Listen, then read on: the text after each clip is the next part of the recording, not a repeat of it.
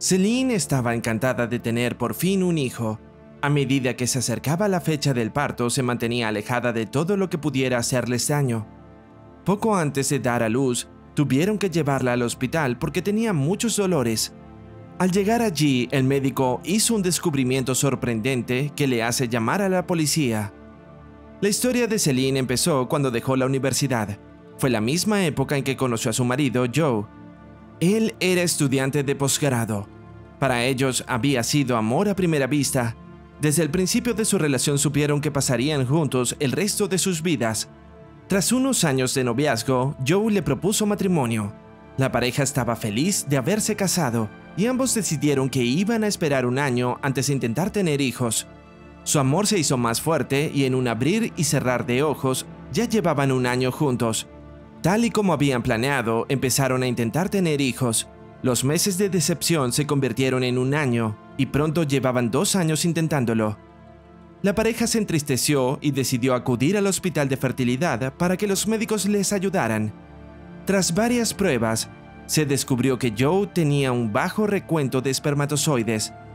La pareja se culpó por no haber acudido antes pero se alegró cuando el médico les dijo que Joe podía tomar medicamentos para solucionarlo. Así que tomó los fármacos y esperó el resultado. Tras varios intentos, dio positivo. Al principio, cuando Celine notó los síntomas, lo tomó como una enfermedad porque no era la primera vez que pensaba que estaba embarazada. Tomó medicamentos para evitar las náuseas, pero no mejoró. Sin mucho optimismo decidió hacerse una prueba.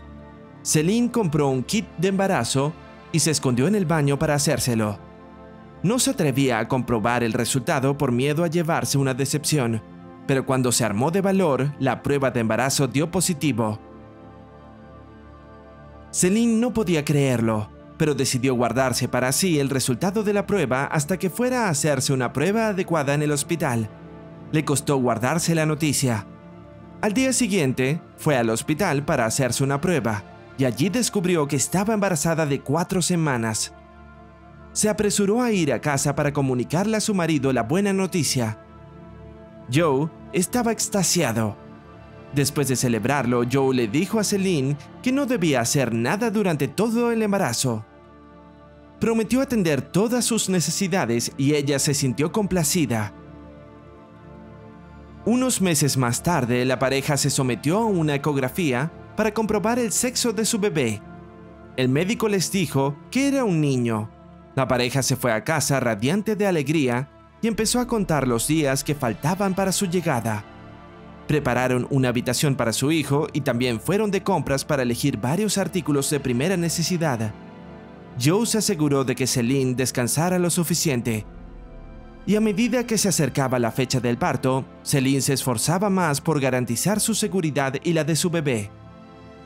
Cuando el embarazo llevaba 28 semanas, Celine empezó a sentir dolores, pero lo descartó como dolores propios del embarazo. Pero una noche el dolor se hizo insoportable. Joe se despertó y oyó a su esposa llorando de dolor. Tras intentar en vano aliviarle el dolor, la llevó al hospital para que la examinaran. En el hospital, las enfermeras atendieron a Celine. Le dieron algo para el dolor, pero le pidieron que viera al médico para entender mejor qué le pasaba. Tras unas pruebas poco concluyentes, el médico realizó una ecografía. Lo que ocurrió luego fue estremecedor. Mientras el médico realizaba la ecografía, hizo un descubrimiento que le sorprendió tanto que tuvo que llamar a la policía. Antes de que llegara la policía, llamó aparte a Joe para hacerle algunas preguntas sobre la educación de su mujer. Joe respondió a las preguntas lo mejor que pudo, pero el médico no quedó satisfecho, así que decidió preguntar a Celine. La chica era ajena al hecho de que el médico había encontrado algo peculiar en su cuerpo. Por eso, cuando el médico fue a hacerle algunas preguntas relacionadas con sus antecedentes, ella respondió con la verdad. Al cabo de un rato llegó la policía. Cuando el médico les contó lo que había encontrado en el cuerpo de Celine, quedaron perplejos. Nunca habían oído hablar de algo así. Solo lo habían visto en las películas. La policía preguntó si el objeto en el cuerpo de Celine podía hacerle daño, pero el doctor no pudo dar una respuesta porque no fue él quien introdujo el objeto en el cuerpo de Celine. Debido a la continua charla entre la policía y el médico, la pareja sospechó que algo iba mal. se dirigieron al médico y exigieron explicaciones. El médico se disculpó por haberles mantenido al margen y aseguró que el bebé y Celine estaban bien. Le explicó que había invitado a la policía porque había encontrado un objeto que podría haber sido implantado en el cuerpo de Celine. Al oír esto, Joe se preocupó. Empezó a hacer varias preguntas, pero este solo pudo responderle unas pocas porque no fue él quien lo implantó. El médico solo aconsejó a Joe que le hablara a su mujer del objeto. El objeto encontrado en el cuerpo de Celine era un chip médico. Cuando Joe le mencionó esto a Celine, ella se sorprendió. No sabía cómo había llegado allí. Estaba preocupada por su bebé, pero el médico le aseguró que el bebé no sufriría ningún daño.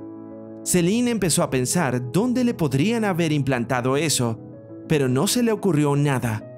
De repente recordó que había ido a un ensayo clínico al acabar el instituto. Su amiga le había hablado del ensayo clínico y le había dicho que necesitaban gente de su edad. El sueldo era prometedor y ella había aceptado. En el lugar de la prueba, les dijeron que firmaran un formulario de consentimiento, pero Celine y su amiga no lo habían leído antes de firmarlo.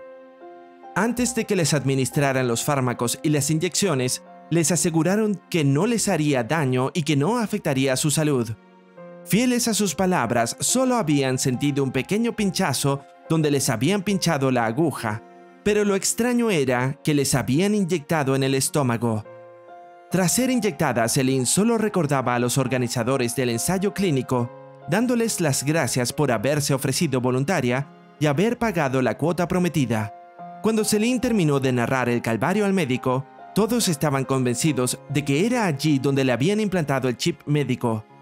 La policía preguntó el nombre del hospital, pero Celine explicó que el ensayo no se había realizado en un hospital, sino en un local improvisado. Sin nada con lo que trabajar, la policía se despidió y se limitó a instar al médico a que le quitara el chip médico. El médico dijo que no se lo quitaría hasta que naciera su hijo. Celine permaneció ingresada en el hospital para ser controlada y unas semanas más tarde nació su hijo. Cuando Celine tuvo fuerzas para someterse a una pequeña operación, le abrieron el estómago y le extrajeron el chip médico. Luego lo llevó a los expertos para averiguar qué hacía. Los expertos revelaron que no era dañino, ya que solo recogía datos sobre el estado de salud de Celine tras tomar el fármaco que se le administró en el ensayo clínico. Aunque el fármaco que Celine había consumido seguía siendo desconocido, ella agradeció que el chip médico no le hubiera causado ningún daño a pesar de llevar años en su cuerpo. ¿Qué opinas de participar como voluntario en ensayos médicos? Cuéntame en los comentarios. Hasta la próxima.